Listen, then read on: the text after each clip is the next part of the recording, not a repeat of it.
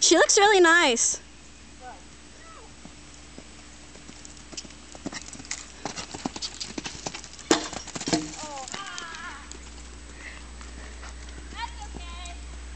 She still did it. She just, her back leg knocked it.